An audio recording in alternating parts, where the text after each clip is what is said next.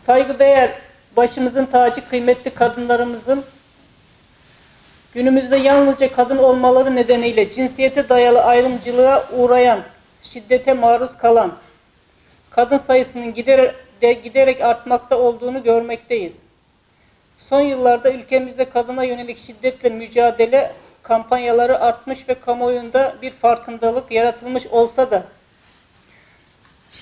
kadına yönelik şiddet giderek art- artmaya devam etmektedir. Kasım 2009 tarihli Adalet Bakanlığı verilerine göre 2002 yılında 66 olan kadın cinayetleri 2007 yılında 1077'ye ulaşmıştır.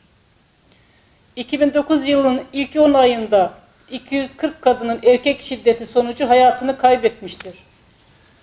Daha bunun gibi birçok örnek var. Peki bu şiddeti önlemek için neler yapmalıyız?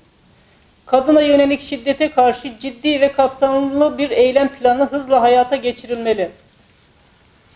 Öncelik olarak devletimiz tarafından daha caydırıcı önlemler alınmalı ve alınan önlemler bir an önce hayata geçirilmeli.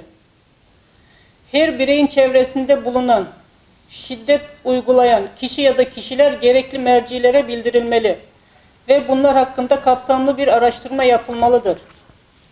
Ruhsal ve ekonomik durumu anne baba olmaya müsait mi? Araştırılıp rapor edilmelidir. Hamilelik döneminde anne ve babaya psikolojik destek verilmelidir. Maddi durumu olmayan ailelere devletimiz yardım elini uzatmalı. Çocukları ve aileyi koruma adına aile terapisti, pedagog eşliğinde aileye devlet takip altına almalıdır. Almalıdır ki sağlıklı nesiller ortaya çıksın. Sosyal devlet her zaman kadınını sarıp sarmalamalı. En iyi şekilde korumalıdır. Siyasete konu yapmamalı. Her il ve ilçede kadın sığınma evi açmalıdır. Kadın koruma derneklerine destek vermelidir. Kadın hedef gösterici, aşağılayıcı söylemlerden kaçınmalıdır. Örneğin, kadın ve erkeği eşit konuma getiremezsiniz. Fıtrata ters. Kadınla herkes kadınlar herkes içinde kahkaha atamaz. Çocuğun ne günahı var? Ana kendine öldürsün gibi söylemlerden kaçınılarak kadını aşağılayıcı ve öteleyici eleştiriler yapılmamalıdır.